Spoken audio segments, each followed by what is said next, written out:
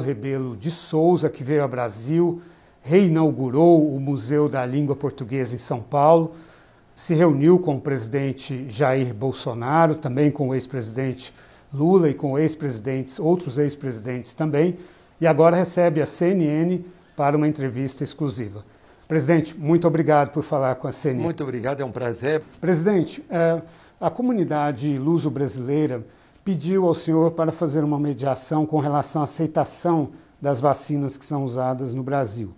Mas essa não é uma decisão técnica que envolve agência reguladora, autoridade de saúde, ou tem um componente político? Não, é assim.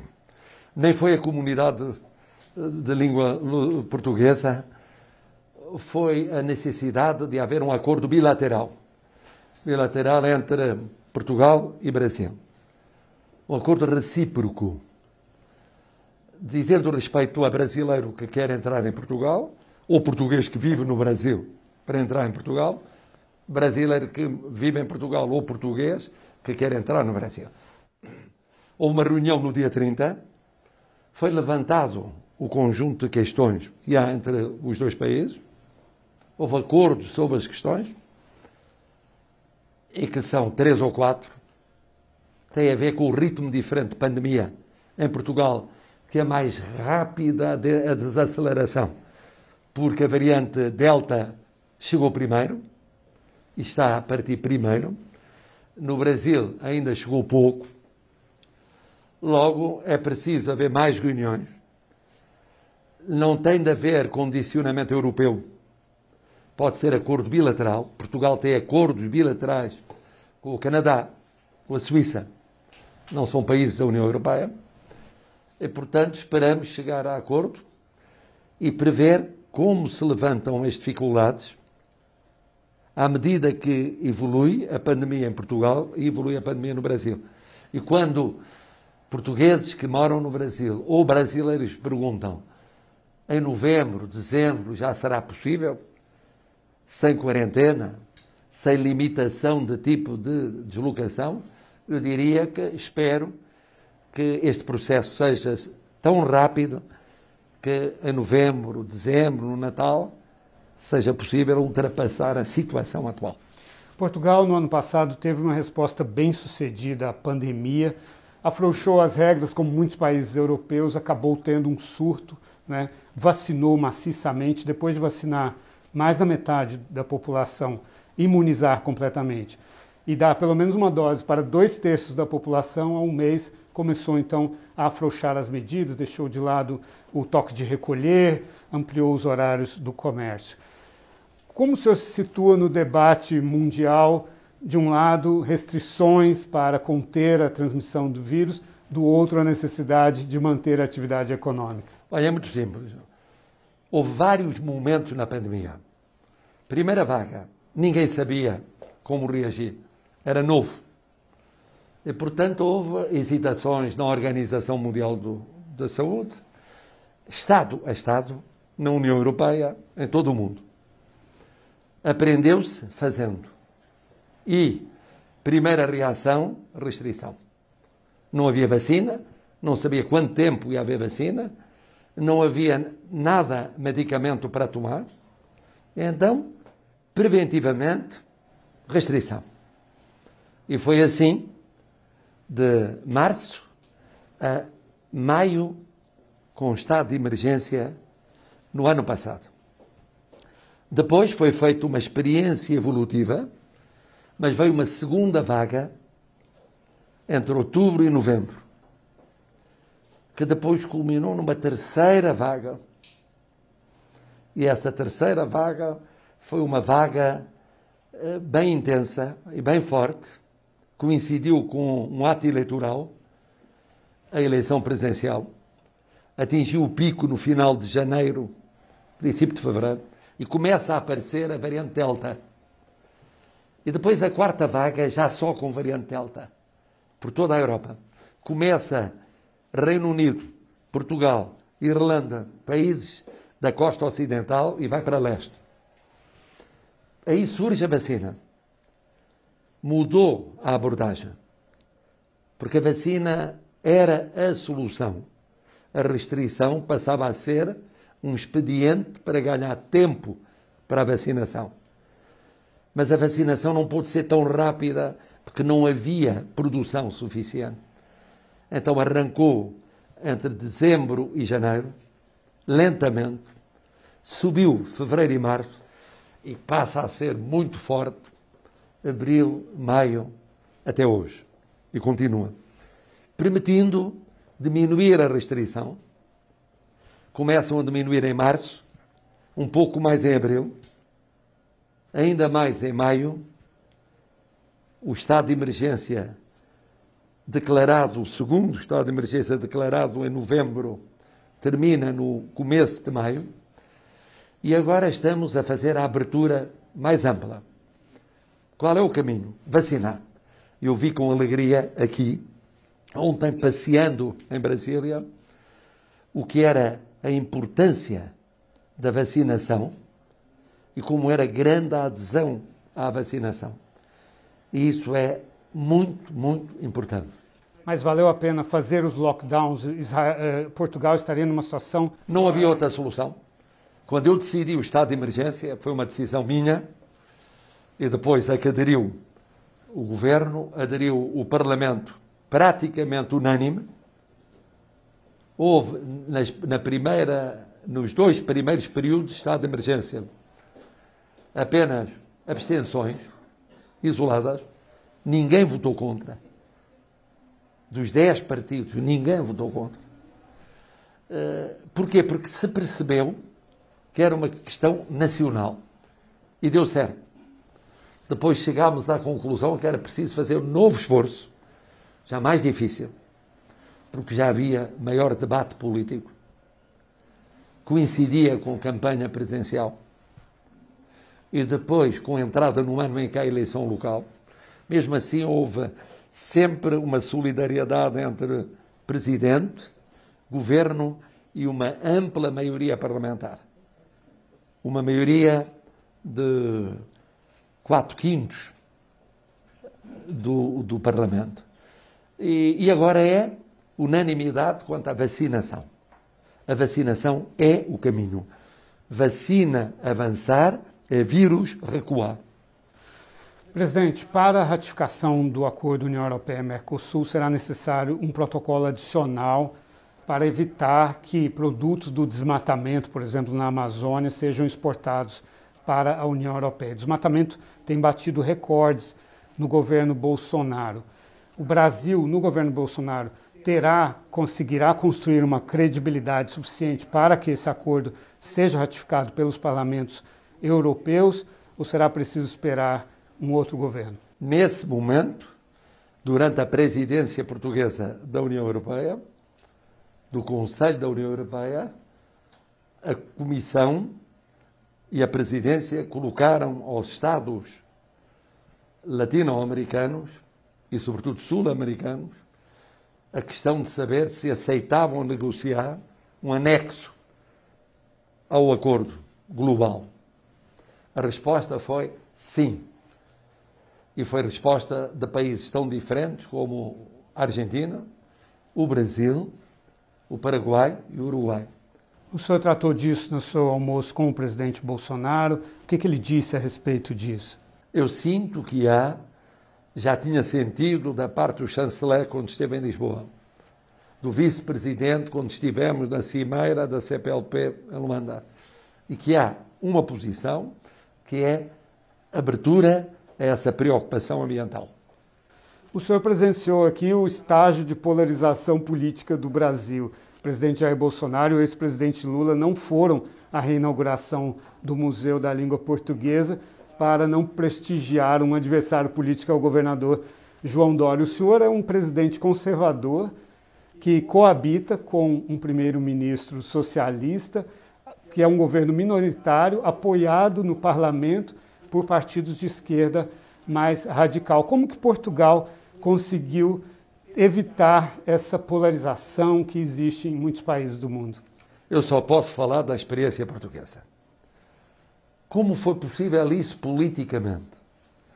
Por uma razão muito simples, porque foi possível em todas essas fases, que foram muito diferentes, Na pandemia, dir-se é mais fácil a unidade nacional.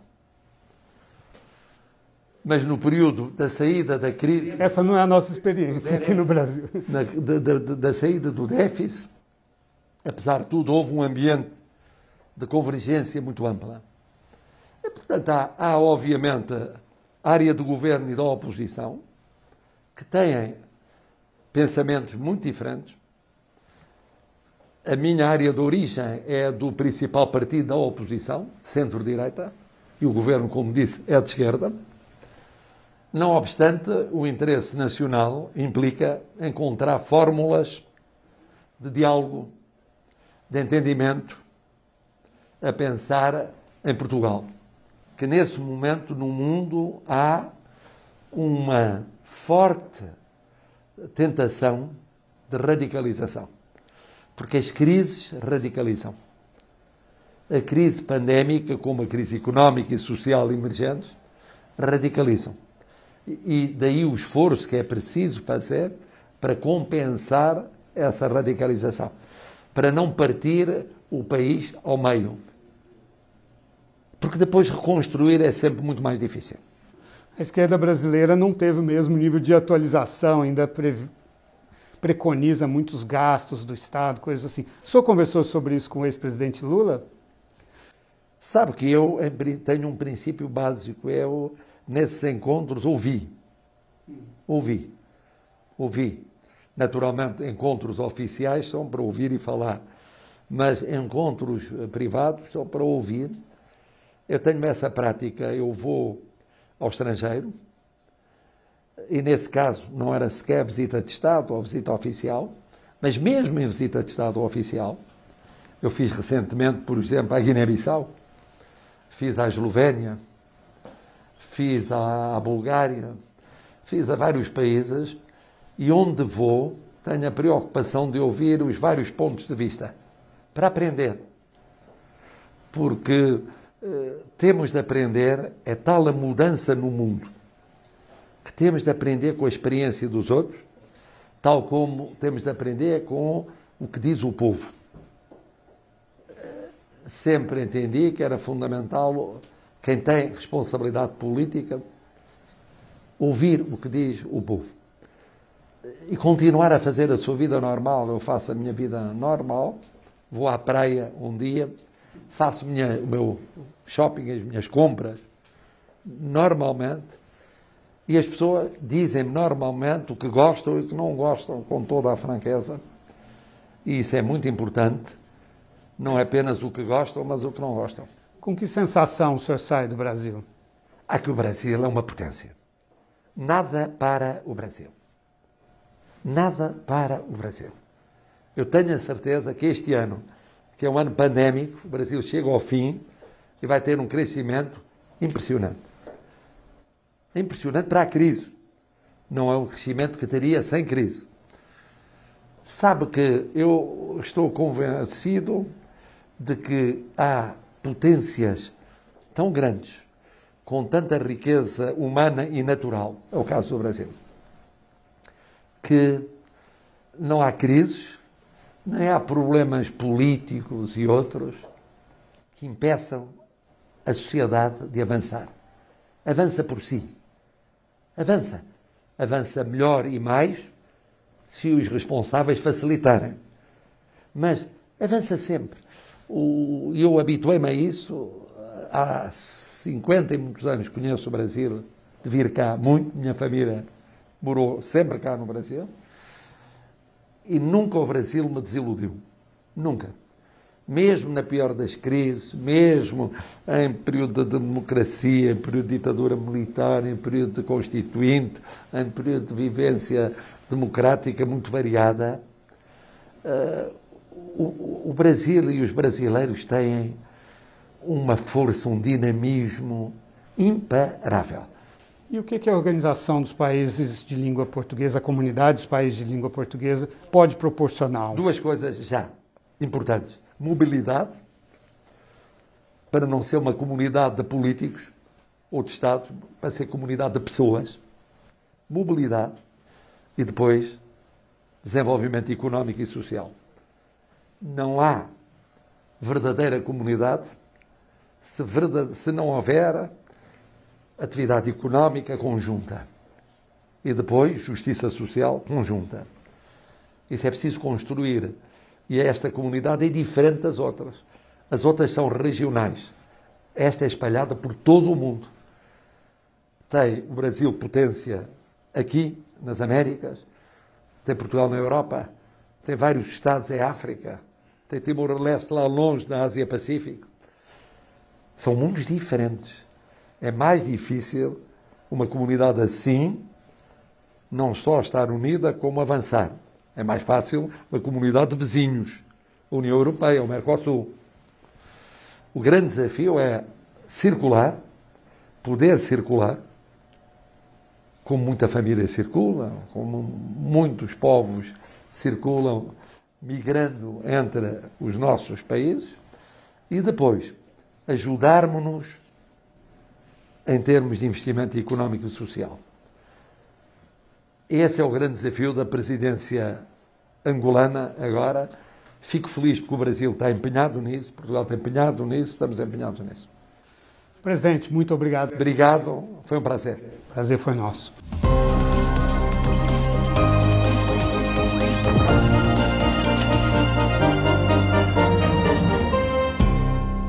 Estamos de volta com entrevista especial e nessa semana também esteve em Brasília o Alok Sharma, o presidente da COP26, a Conferência das Nações Unidas sobre Mudança Climática, que acontecerá em Glasgow em novembro. Ele que é membro do parlamento e ministro britânico nos recebeu na Embaixada Britânica em Brasília também para uma entrevista exclusiva. Ministro Alok Sharma, muito obrigado pelo privilégio dessa entrevista exclusiva à CNN. Thank you very much. It's a pleasure to be here. Como o senhor compara os objetivos que o senhor tinha para, para essa vinda ao Brasil com o que o senhor obteve do governo federal? Estava em, em questão eh, os, os compromissos do governo em relação à redução de emissões, os países desenvolvidos querem que o Brasil assuma metas mais ambiciosas e também que demonstre como vai cumprir essas metas. O senhor conseguiu isso do governo brasileiro? Uh, Minha mensagem ao visitar um país é sempre a mesma. Uh, Ela é consistente. Uh, Eu lembro que os países se reuniram em Paris em 2015 e concordaram que fariam o possível para manter os aumentos globais de temperatura para menos de 2 graus Celsius, com a meta de 1,5 graus Celsius. É isso que precisamos fazer, que precisamos ter como resultado na COP26 em Glasgow. O que peço a todos os países, e a mesma mensagem que trago aos ministros aqui no Brasil, é que eles tenham planos ambiciosos para diminuir as emissões até 2030 e montem uma estratégia para chegar à emissão zero até 2050. Eles devem ter planos de como lidar com as mudanças climáticas que já acontecem, ter planos de adaptação. O Acordo de Paris foi uma estrutura com algumas regras pendentes que ainda precisam ser alinhadas. E vamos fazer isso em Glasgow, juntos. E por fim, financiamento. Tenho sido bem claro ao dizer que os países desenvolvidos devem manter sua promessa de alocar 100 bilhões de dólares por ano de 2020 a 2025. Estamos trabalhando muito nisso. É a minha mensagem consistente aqui no Brasil. Eu disse aos governos e aos ministros que encontrei que, é claro, fiquei muito encorajado pelos compromissos assumidos pelo presidente Bolsonaro em abril, no encontro promovido pelos Estados Unidos, no qual ele afirmou que o Brasil vai atingir a emissão zero até 2050 e o compromisso adicional de assegurar o fim do desmatamento ilegal até 2030. Precisamos ver os planos detalhados desses grandes compromissos. E essa foi a mensagem que deixei aqui no Brasil. E fiquei animado, porque esses ministros me disseram que estão trabalhando nesses planos e eles devem estar prontos antes da COP26. O senhor sentiu que a posição do Brasil é de negociador, no sentido de que só quando os países desenvolvidos entregarem esses 100 bilhões de dólares por ano é que o Brasil avançará na direção que os senhores desejam? Eu tive uma série de conversas construtivas aqui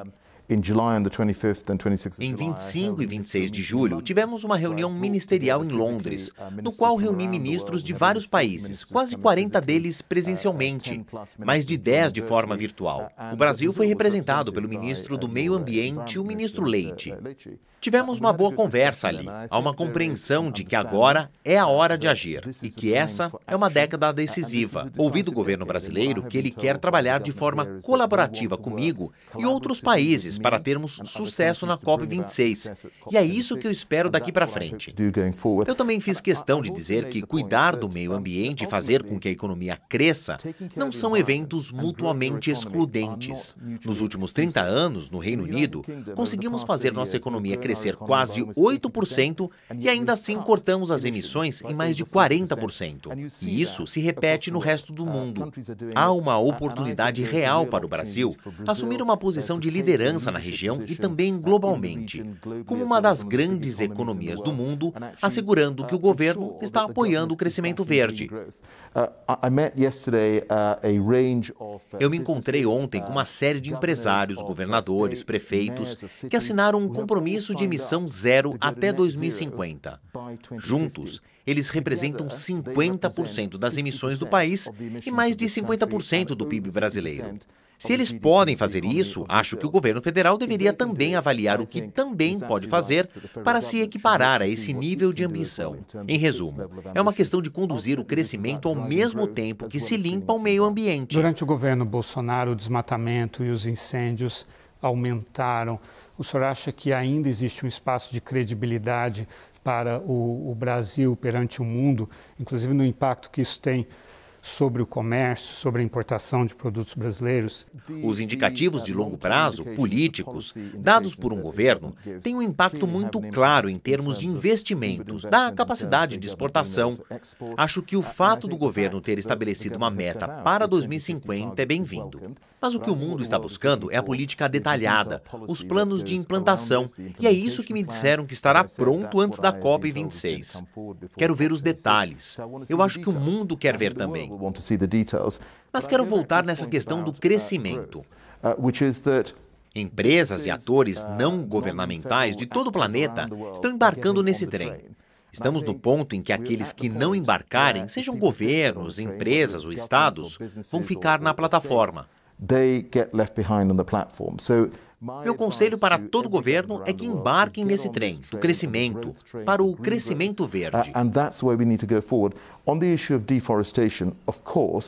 Em relação ao desmatamento, é claro que essa é uma preocupação global e claramente no Brasil.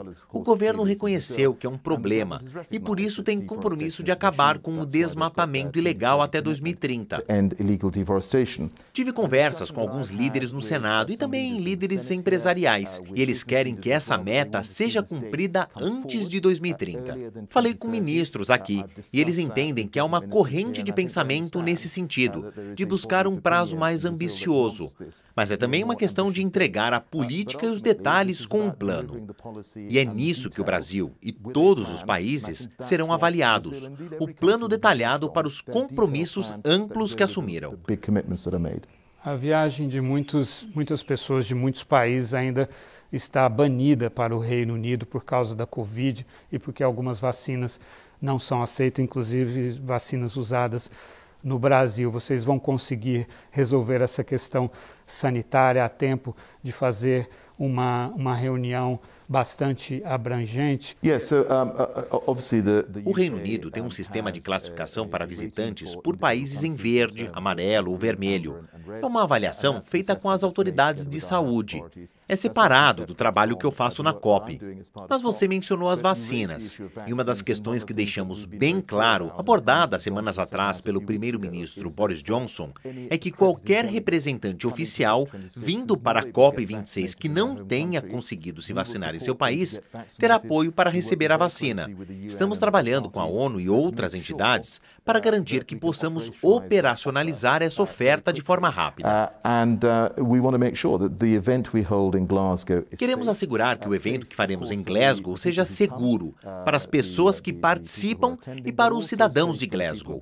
Isso é muito importante. Estamos avaliando toda uma gama de medidas para uma conferência segura contra a Covid-19. Acredito que nos próximos próximos dias e semanas, vamos revelar mais detalhes.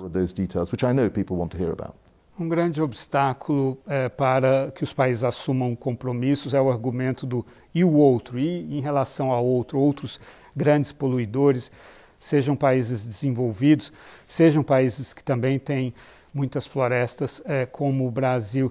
O senhor poderia nos dar um, um panorama do que o senhor tem obtido mundialmente com outros grandes players nessa questão da poluição. Sim, quando começamos esse processo e assumimos a presidência da COP26, menos de 30% do mundo estava considerando a meta de emissão zero. Hoje, temos mais de 70% da economia mundial coberta por essa meta de emissão zero. Portanto, fizemos progresso. Agora temos todas as economias do G7 de acordo com as metas ambiciosas de redução até 2030, chamadas de contribuições nacionalmente revisadas, que, por sua vez, estão alinhadas com as metas de redução até 2050. Isso foi um grande avanço dos países do G7. O que precisamos agora é que as maiores economias, as do G20, e o Brasil faz parte desse grupo, também se posicionem com metas ambiciosas para a redução de emissões. A realidade é que os países do G20, coletivamente, representam 80% das emissões do mundo e 85% da economia mundial. O que eles fazem tem muita importância. Estive no evento que reuniu os ministros de energia do G20 em Nápoles algumas semanas atrás.